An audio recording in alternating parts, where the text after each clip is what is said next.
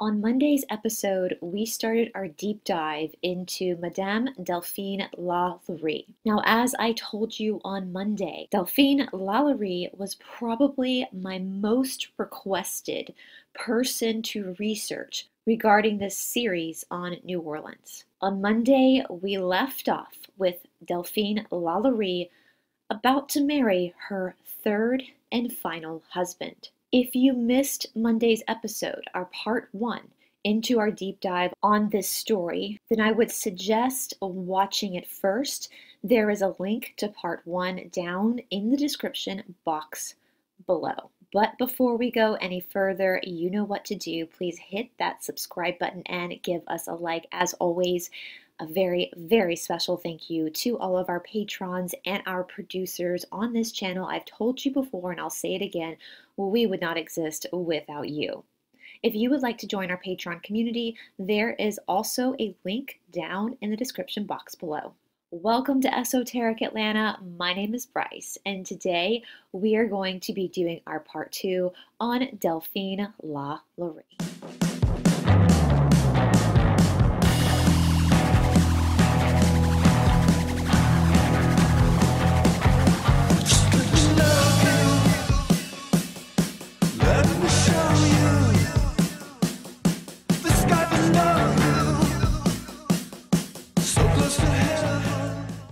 Right, before we get into the story, just one quick little note. As you can see, I'm wearing my awesome It's All a Pantomime t shirt.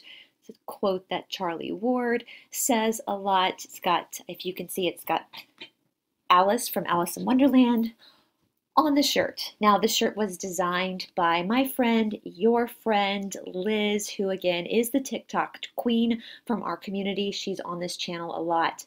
And as you guys know, we are going to be doing a giveaway for a couple of her shirts on this channel. I have everyone's names who entered into that contest.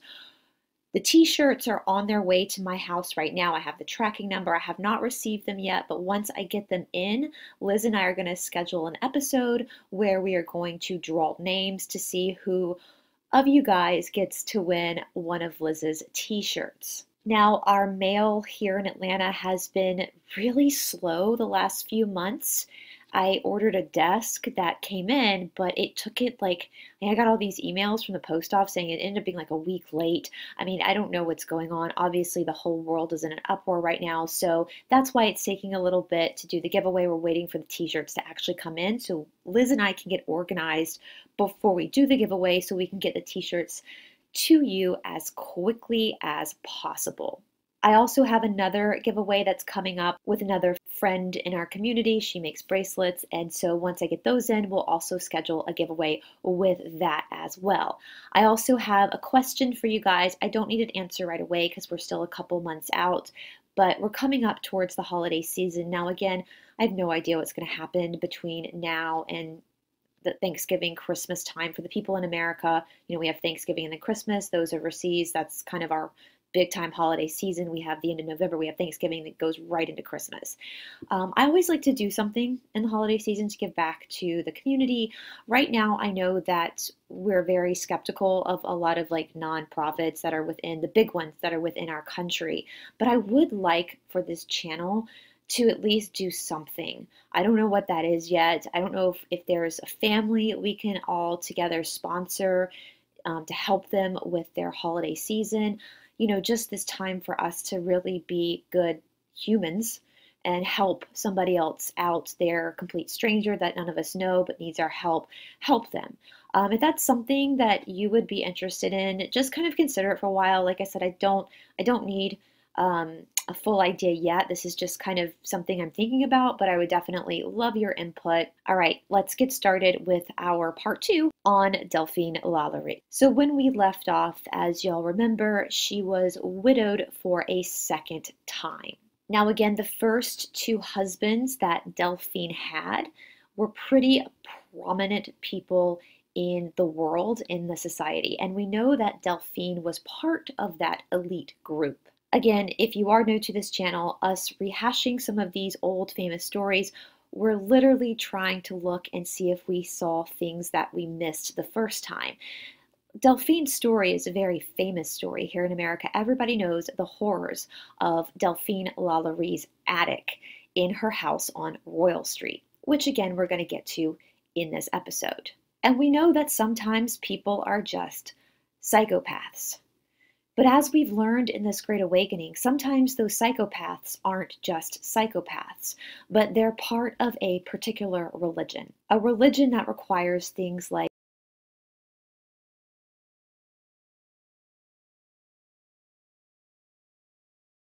And so, again, with the retelling of Delphine's story, I'm hoping that collectively we can kind of look at some of these things and maybe theorize that Delphine might not have been just a person that lacked empathy, but a victim of a dark cult, a victim who went on to participate in these dark cult activities herself. So, of course, most people know that Delphine is notorious. She's known for. Now, I'm probably going to have to bleep some words out on this episode, so if you're able to watch the screen to see the text come up, that would be best. But if you're driving and you can't watch the screen, hopefully when you hear the pause, you know a word's been bleeped, you'll know because of the context of what I'm saying what the word was that I bleeped out. Now, again, there's many speculations behind Delphine's activities. Some people believe that it was a lot worse than it really was, whereas some people believe that Delphine actually might have been an innocent bystander, a scapegoat for maybe her third husband. And they say that the truth often lies somewhere in the middle. And I did a little bit digging into Delphine's third husband. There's not as much on him as other people because Delphine's third husband was from a middle class family in France. And because he was from a middle class family in France, we don't have that many documents pertaining to his actual life. But from what we know of his life, I definitely speculate that he was very much involved in her dastardly activities. Janine uses that word dastardly, and I love it, so I'm going to start implementing it into these videos too. Now, again, people, some people believe that Delphine might have been completely innocent, and again, it was her husband who did everything. But between her second and third husband, Delphine lost a total of eight slaves. Eight of her slaves passed away in that small window of time. That's major. Now, we don't know how they actually left the earth plane. Again, as Janine says, trying to be careful with what I say. Some of those people could have just passed naturally. We do know that New Orleans, a lot like Savannah, a lot like Charleston, a lot like many places here in the Deep South, was swamped in infection, disease, very hot, very muggy, a lot, a lot, a lot of wildlife, and again, very dirty. So, hygiene, all that kind of stuff could have played into people losing their lives a lot quicker than they do in our modern times. I mean, I've said it before and I'll say it again. Living down here in the South, I don't know how these people managed this area of the world without air conditioning. It's brutal.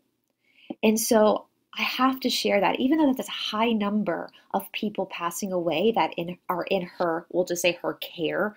She didn't care for them, but her care. You have to also take it with a grain of salt because, again, disease, all that kind of stuff. So, Madame Delphine Lalaurie's third husband was a man named Leonard Lalaurie. Leonard Lalaurie was born into, again, a middle class family in France. At 21 years old, he started studying medicine at the Sorbonne. In 1825, Leonard Lalaurie decides to leave France behind and head out to New Orleans to start a new life. He was going there to establish a medical practice and also establish himself with the elites, the Creole elites of New Orleans society. I guess for Leonard, it seemed a lot easier to grow in rank in this colony versus the well established social ranks of France. Now, we know on his paperwork and his voyage over to New Orleans that he did put that he was a physician, a doctor. However, we're not entirely sure if Leonard Lalaurie ever finished medical school. Now, for us in 2021, that's a pretty big deal to not finish medical school. However, in the 19th century, things were done a little bit differently. People could apprentice. People could learn from watching someone else. They didn't necessarily need all the paperwork, testing, and bells and whistles as we do and as we require today. Doesn't mean that he wasn't a good doctor doesn't mean that he didn't know what he was doing. And in fact, there's no reports of any type of malpractice coming from his actual practice. In March of 1825, Leonard Lalaurie sends in basically his resume to one of the New Orleans newspapers. He advertised that he was a new physician in town and he specialized in taking off the humps that were on people's backs. Now, this is something that still happens today with people. They're kind of born with a misaligned spine, and of course, we can medically fix that or help people correct that disfiguration of the spine. A lot of times, things like humps on a body or a spine that's not properly aligned isn't about vanity. We, we don't want to correct that just so we look good in the world, but it can cause a lot of pain for people. That's the primary reason for wanting to correct these issues, is so that people are not in pain. Back in the 19th century, they called this phenomenon a hunchback. And Leonard Lalaurie was the self proclaimed specialist at fixing this birth defect. And this is how Delphine, a two times widow in the city of New Orleans, a lady of the Creole upper class whose father and husband were both very prominent members of this society, met Leonard Lalaurie. Delphine was 38 years old at this time, and Leonard Lalaurie was probably around 22, 23. Anyway, Delphine brought one of her daughters in to see him. It seems one of her daughters was born with a hunchback. And so she brought her child in, just like any mother would do, to have Leonard correct the child's spine. Immediately, Delphine was taken by this young doctor. At first, it appeared that her relationship with Leonard Lalaurie was that of maybe just like a welcoming committee. In fact, that's still big here in the South. If you move to a small town here in the South, you'll have like the church ladies from the local church will come and bring you a welcome basket and try to help you get integrated into their society. So that's not surprising in itself that she started spending a lot of time with this young man. Now, 38 for us in today's modern society is not that old. I'm 38 and I still feel like I'm very, very young. But at this point, again, different time. Delphine had already been twice widowed. She had five children, and a couple of her oldest daughters had already been married and had children of their own, making Delphine a grandmother. Very soon, though, it became apparent that Delphine and Leonard were much more than just friends, mentor mentee. Because in 1827, Delphine Lalaurie gave birth to Leonard's child, a child that was born out of wedlock. Now, in today's society, that doesn't matter at all. But again, we're talking about the 19th century, and we're talking about the 19th century in a southern town with an elite group of people that live by certain rules outside in public, even though we know they live by different rules behind closed doors. At this point, Delphine was living out on her now deceased father's plantation. After her second husband had died, she sold their townhouse on Royal Street in order to pay off some of her second husband's debts. Now, again, uh, Madame Delphine Lalaurie herself independently was very wealthy. We spoke about this in part one. This was something very unique to this town of New Orleans that women at this point, even though they still didn't have some of the rights as men, they were able to own their own property and have their own wealth. And that's part of what makes this story intriguing because at this time, Delphine, even though she was a woman, held the upper hand in a lot of situations because of her social status in New Orleans. Gossip started around the town that this young new doctor, Leonard Lalaurie, and Delphine, the widowed woman who had had his illegitimate child, had a very passionate and sometimes what we would call toxic relationship. They were constantly fighting, and she was constantly throwing him out of the house. Well, after the birth of their son, Delphine and Leonard did get married. Something interesting that uh, somebody else pointed out to me regarding this case is that their son was baptized five months after his birth. This was around the time in 1827 when they also got married. Now, normally at this time, people would baptize children pretty quickly out of birth. We've talked about this with the changeling episodes we did, the folklore on changelings, because we didn't know how long children would live in superstition about baptism at this point was rampant. It still kind of is. And people felt like they needed to get their kids baptized so that if something were to happen to their child, their child would be able to go into the kingdom of heaven. Even though I have my suspicions that Delphine Lalaurie was not actually a Christian. In their marriage contract between Leonard and Delphine, it is stated that their illegitimate son would be recognized as a legitimate son, and therefore, upon their passings, he would receive the same inheritance as a legitimate, legally born child would receive. I know that sounds so crazy to us today because at this point, if you're someone's kid, you're someone's kid, and most courts view children of parents, whether the parents are married or not as equals when it comes to inheriting the estates of their parents. But these social constructs were really important back in the 19th century. Now, I know, you know, everybody watching this knows that our federal government is very much CABAL. The validation of someone's existence at this point, because of the power of the CABAL, was placed on whether the parents were married or not. And we know that God doesn't make junk.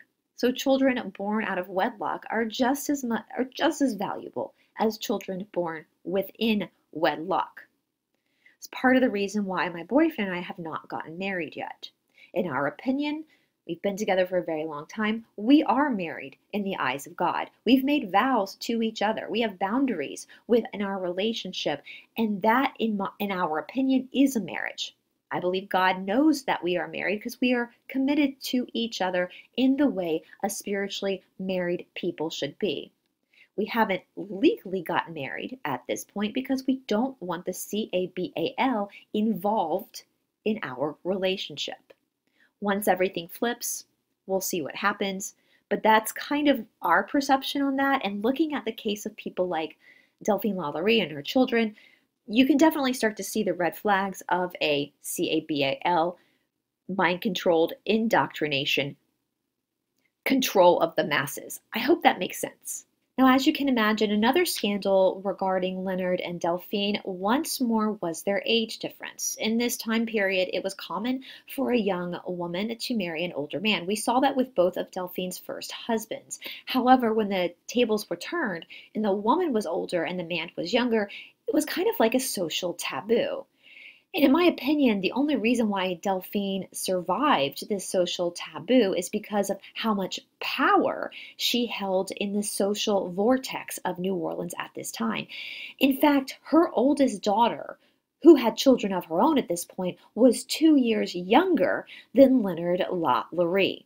But nonetheless, in 1831, Delphine Lalaurie decides that it's time for her her husband, Leonard, and their children, the ones that are still living with them, and of course the new baby, to get off the plantation out in the country and move back into the city center of New Orleans. This is when Delphine Lalaurie bought her very famous house on Royal Street, the house where the shit went down. And of course, most people know this is the house that stands at 1140 Royal Street. Now, when she bought this house, she put the whole house in her name. Her husband, Leonard, was not party to owning this property. Again, this was really, really, really rare at this point in our history. And if we're looking back at the 19th century, again, the fact that Delphine could do this shows you A, how powerful she is and how much wealth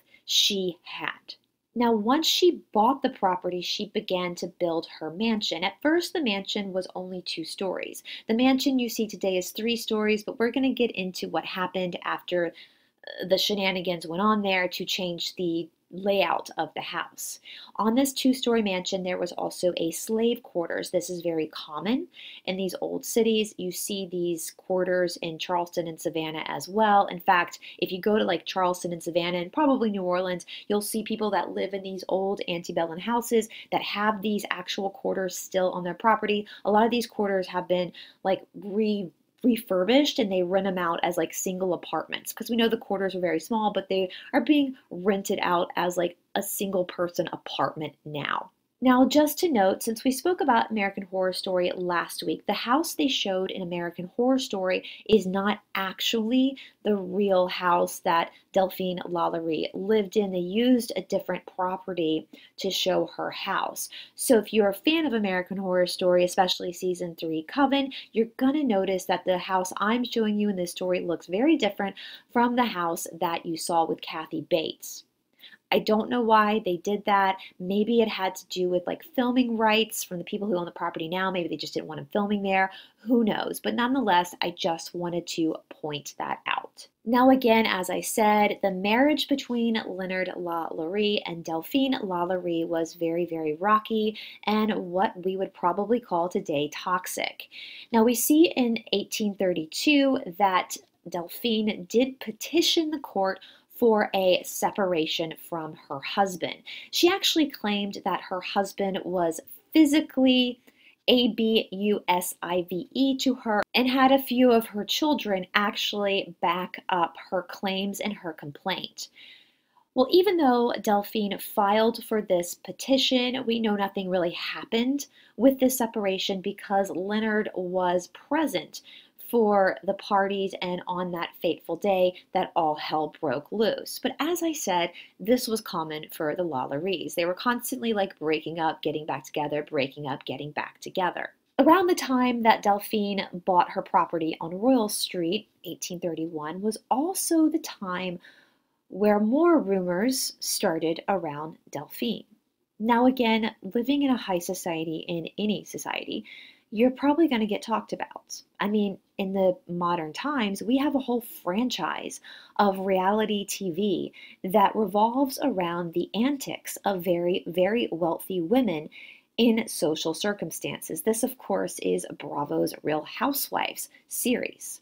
So rumors weren't uncommon in New Orleans, but these rumors had to do a lot with the way Delphine treated her slaves. As we talked about in part one, there was a code noir that had been given to New Orleans, the people of New Orleans, over a hundred years before. This was a very detailed law book of how the um, owners could actually treat their slaves. And people were noticing that for Delphine, her slaves were showing up in markets looking worse for the wear. And in fact, between 1831 and 1834, Delphine Lalaurie lost 12 of her slaves, mostly like the eight that she lost before she got married to her third husband, leaving the body count now at 20 that we know of. The ones that lost their lives were typically young women in their early 20s or teenage girls. Now, again, this could have just been from sickness.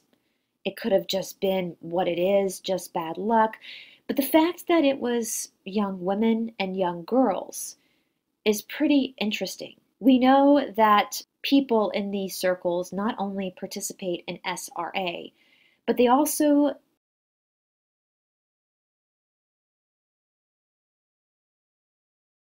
we know that different ages and different genders and different races carry particular types of genetic coding in blood. And so it is very fascinating and interesting that um, it was particular people that were losing their lives. Again, young women and teenage girls.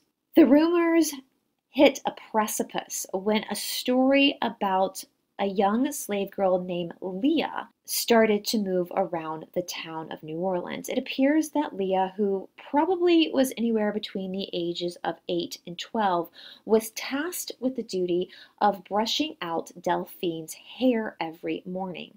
Well, one morning, as what happens to most girls at some point, little Leah hit a snag in Delphine's hair. And of course, when you hit those snags, it can be quite painful. Well, the story goes that Delphine took her pain out on this child. The child then took off running from Delphine as Delphine allegedly was trying to whip her. The poor child was so terrified that she got to the balcony of the house and jumped off.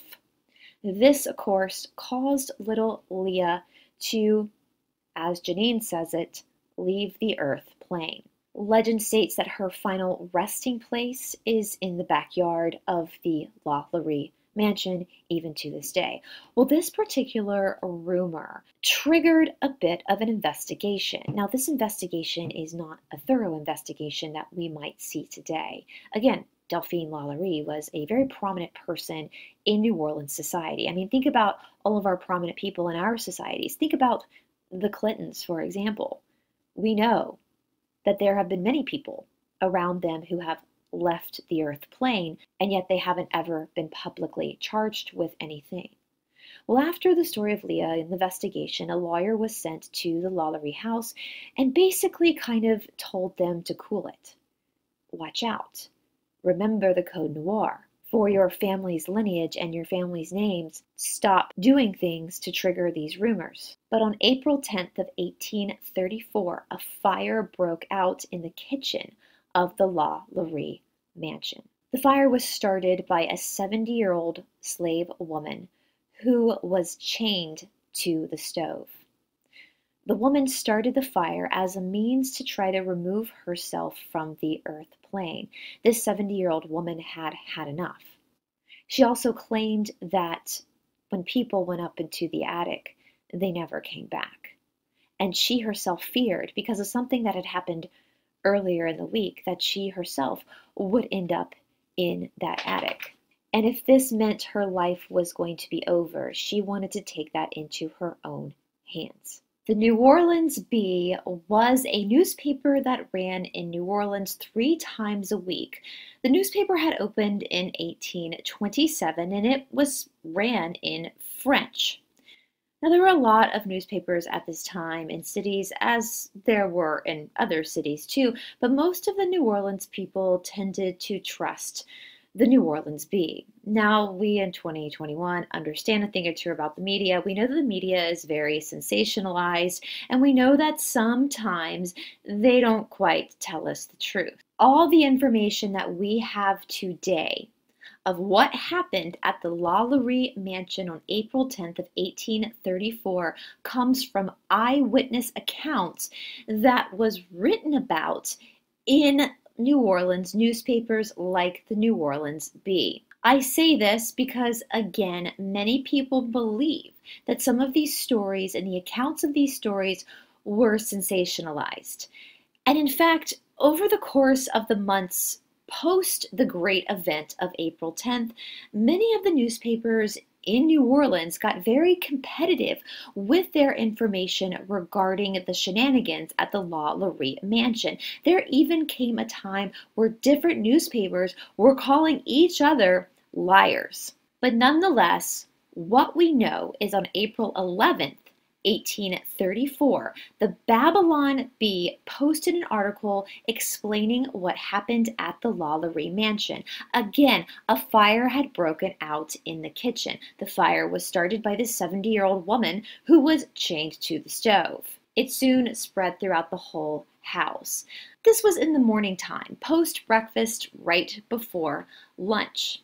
As the passerbys started to approach the burning house, patrolmen came up asking Leonard Lalaurie for his keys to the slave quarters. He wanted to go make sure that he could evacuate all of the people living on the property. It stated that Leonard refused to give this police officer the keys, stating to basically mind his own business. At that point, the passerbys decided that they were going to break into the house and into these quarters to physically remove the people who were still stuck inside.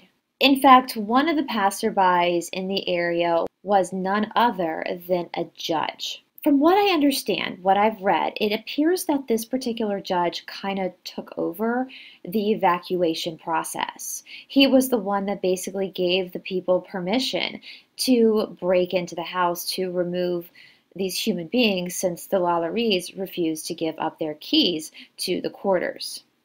Well, when the people broke into the quarters, what they saw shocked them. The human beings living in these particular quarters were pretty beaten up. They had wounds all over their bodies, and some were attached to the wall by chains around their neck. Some had had their arms and legs stretched out so much to the point where they wouldn't have been able to physically walk themselves out of the house anyway. They needed the help of the passerbys. This also ended up exposing Madame Delphine Lalaurie's attic of horrors.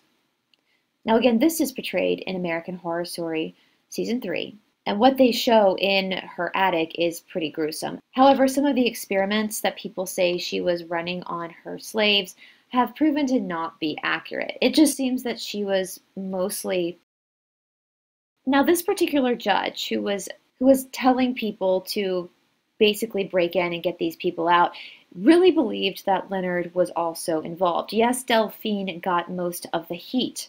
She was the one that was accused of being extremely, extremely psychopathic towards her slaves. But this judge believed that Leonard was involved, and I, I do too, because you know what? Leonard was a physician. And a lot that was going on with these slaves seemed to come from medical knowledge. We'll just put it that way. We also know that Leonard was very, very eager to social climb. We see what people, young celebrities in Hollywood, are willing to do in order to get that contract. People who don't have souls will do anything to feed their own narcissism and ego. At the realization of what was going on in the Lalaurie mansion by the bystanders, absolute hell broke out. Now, again, rumors had already been going around for years now that there was something very dastardly and nefarious happening at the Lalaurie property. Many of the other Creole elites were very concerned by the way it appeared Delphine treated her slaves. And so when they saw that had been happening behind closed doors at the Lalaurie mansion, the bystanders went ballistic right after lunch every day, Delphine had this habit of taking a carriage ride around the city. The person, the coachman who drove her carriage, tapped Delphine on the shoulder and told her that things were about to get nasty. He suggested that she very casually get into her carriage, just like she did every day for her afternoon rides. But instead of coming back to the house, she needed to leave. So Delphine, her husband Leonard, and the children that were living with them did just that. They very calmly got into the carriage. Now, as the carriage was taking off, a lot of the bystanders realized what, what was happening and ran up to the carriage to try to physically remove the Lalauries from the carriage. The coachman ended up whipping the people back as he took off. He brought Delphine, Leonard, and their children to a river that took them down to Mobile, Alabama, where they were then eventually able to make their escape. Now, when the coachman got back to the Lalaurie property, the people at the property were so upset at what happened that they actually ended up taking his life. Now, again, what ensued was vigilante justice at its best. The bystanders ended up completely destroying the whole of the original Lalaurie mansion. This is why today, if you go to New Orleans and you visit this house, you will see that there are three stories instead of two. It's because the house basically had to be rebuilt. According to what I could find, all of the slaves living on the property were brought into the local jail. At this jail, they were cared for medically, and what proceeded was basically they were put back up for sale again. They had people come by to view them and then make purchases so they could be dispersed out away from the Lalaurie mansion. As far as Delphine, Leonard, and their children, some things are a little bit hazy as to what happened to them after they escaped the mob. We do know that Delphine and Leonard remained in the United States until at least April 21st. That's my mother's birthday, April 21st. We know this because on April 21st, where they were hiding out, both Delphine and Leonard signed the power of attorney over to her daughters and her daughter's husband. At this point, some people believe that she went to New York. Some people believe that Delphine snuck back into New Orleans living with her daughter under a different name, but what we do know for sure is that they absolutely went back to France. They went back to France on a boat to live with Leonard's family. They spent many, many years in exile in France, and from what we know with letters written back and forth, Delphine was not that happy in France. She felt like she was high society, and of course, Leonard's family, the Lalauries, were just middle class. We know from letters written back and forth from Delphine's youngest son to his half siblings in New Orleans, Delphine was always very eager to get back to New Orleans. It almost seems from the letters written that Delphine was a little bit in a delirious, delusional state. It was almost like she had forgotten why she left New Orleans in the first place, and her children knew that her return to New Orleans would not be good for her. In 1842, we do know that Leonard Lalaurie's father passed away. At this point, Leonard Lalaurie abandoned his wife and his child in France and moved to Cuba. We know this because Leonard Lalaurie wrote a letter back to his stepchildren in New Orleans requesting that they send some of his personal belongings to Cuba. Interestingly enough, two of these items were aprons from his Freemason Lodge. You can't make this shit. Leonard Lalaurie ended up passing away in Cuba, where he is still buried there today. We know that Delphine Lalaurie passed away at the age of 64 in 1849 in Paris, France. It is said that she was buried in a specific cemetery in France. From what I read, it was actually a third class um, cemetery but nonetheless, she was buried amongst some great artists, some famous people, and there's still a tombstone there for her. However, many people don't believe she's still there.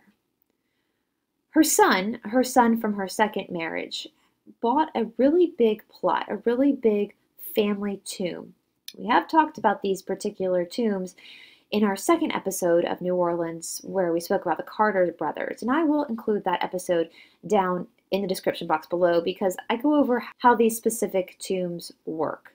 But nonetheless, her son from her second marriage bought a plot basically for his family at the St. Louis Cemetery number one. Now, her son and his immediate family were not ever buried in this particular tomb. In fact, we know for sure that it was like his great granddaughter that was the first person of the family that we know for sure was buried in this tomb. This would be Delphine's great great granddaughter.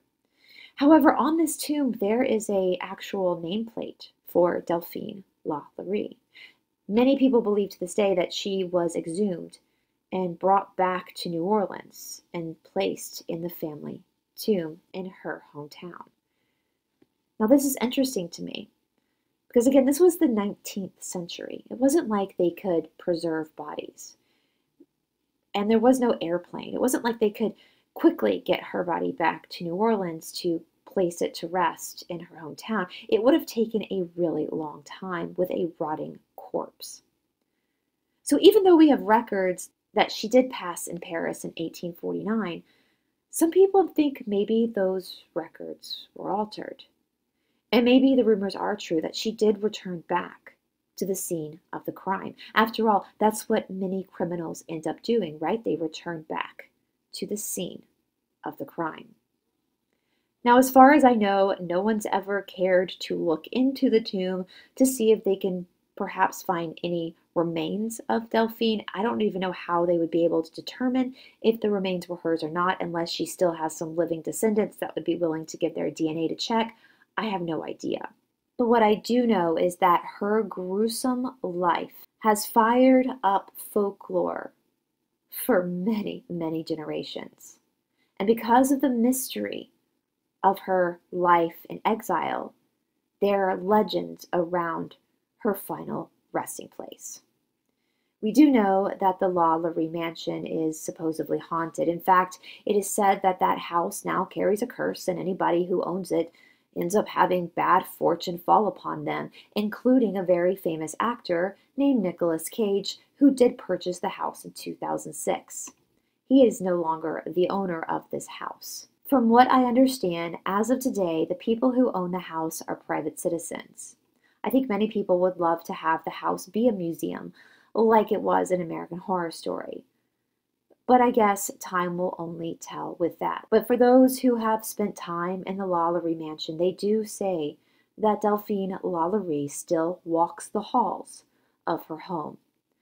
And maybe sometimes you can still hear the screams coming from the attic. All right, guys, let me know your thoughts on this story down in the description box below. Do you think that Delphine Lalaurie was just a psychopath who did what psychopaths do?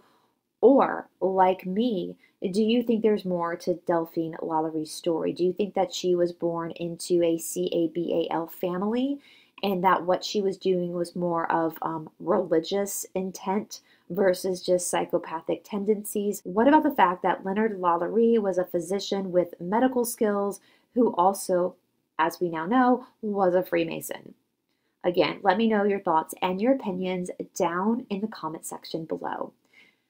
Thank you again to Josh McKay for doing our music. If you would like to purchase the full song, there is a link again down in the description box below. Thank you to Todd for helping me get this video out to you guys today. I hope you guys are all gearing up for a fabulous, fabulous weekend ahead. Much love to all of you. Hold the line. The best is yet to come, and I will talk to you soon. Bye.